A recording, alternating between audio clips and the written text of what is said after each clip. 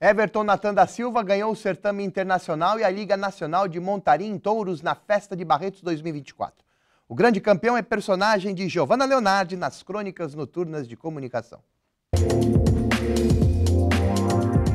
Um público imenso ocupa o estádio do Parque do Peão Deus Independentes de Barretos para um encontro com o esporte e a arte. Um jovem paulista de Viradouro teve oportunidade de conquistar fama e prêmios porque reuniu coragem e ousadia, equilíbrio e determinação, vontade e superação.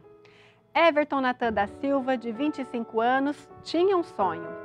Ligado ao campo, à atividade pecuária, decidiu encarar o desafio de parar em touro por oito segundos.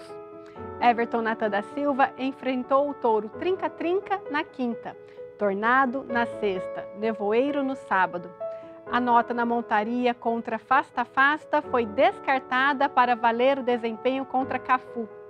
O último confronto na arena foi contra o touro paralelo da companhia Zeca da Juína. Antes de ser o campeão do rodeio de Os Independentes de 2024, Everton Natan da Silva viu o competidor mexicano Álvaro Alvarez Aguilar cair em dois segundos do touro cobiçado. O campeão celebrou seu segundo título em dois dias. No sábado, Everton Natan da Silva tinha conquistado o título de campeão da Liga Nacional de Rodeio. O competidor de Viradouro agora vai disputar o The American no Texas em 2025. Giovana Leonardi para a Rede Vida. A boa notícia faz bem todo dia. É isso.